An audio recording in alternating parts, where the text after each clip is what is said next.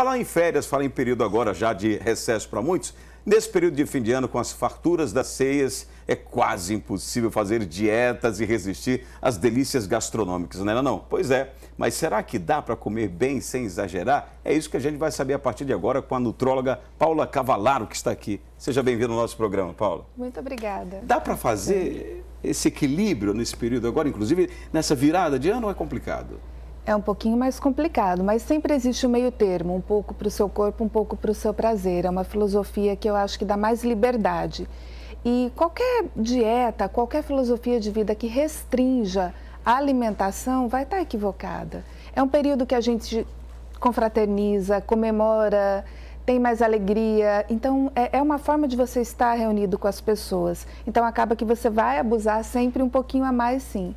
A dica que eu sempre dou é não enfie o pé na jaca completamente. Coloca só um pedacinho. Só um pedacinho do pé termo, na jaca. Não coloca Viu o Henrique Matos, ele está dizendo sim, é Vinícius, já entendi né? Mas tem muita gente que acaba exagerando. Mas tem o, o, problema do depois, né, Paulo? Porque depois você fala, como no Natal, ah, pega a mistura que sobrou da ceia, faz aquela mistureba toda e depois... Isso pode trazer umas complicações, né?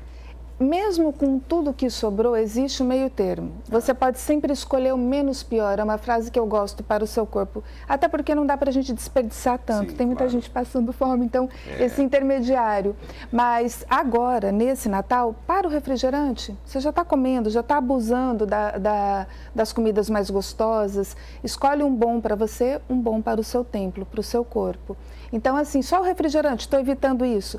Tá, então abusei, vem Natal, vem final de ano, durante a semana em casa, segura um pouquinho, como uma comida mais honesta, um pouquinho mais humilde. O que eu chamo de comida mais honesta?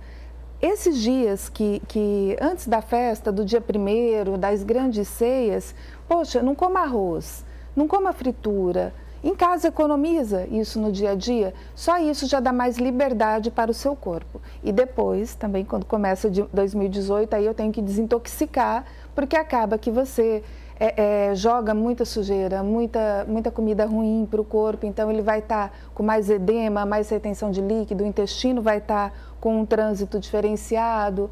Então, essa primeira semana de 2018 seria o ideal você fazer uma dieta mais detox, que, que nós Sim. costumamos chamar, que eu também não gosto da palavra nem dieta, eu não gosto de nada muito rotulado. Você pode tomar em jejum lá um copo, meio copo de água com limão, você já começa bem, já começa estabilizando. Evita o pão no seu café da manhã nesse início de ano.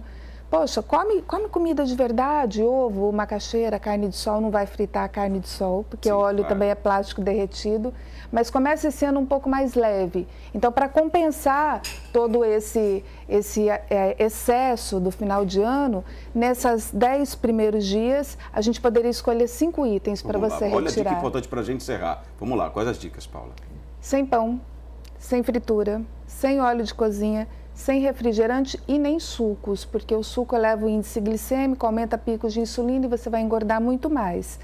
E a comida honesta dentro de casa no seu dia a dia. Só isso já dá para a gente compensar. E lógico, né? A atividade física, que é a nossa obrigação com o nosso corpo, com o nosso templo, ela tem que existir. E claro, aqui são apenas algumas dicas, tá? Algumas dicas. Se quiser mais informações, pode ser a Paula e tantos outros profissionais que, que eu acho que é isso que a gente tem que deixar claro, né, é, Paula? Não adianta só ficar tentar, ah, tentar aventurar as coisas. Eu vou, tenho que procurar um profissional para ter um acompanhamento, é importante.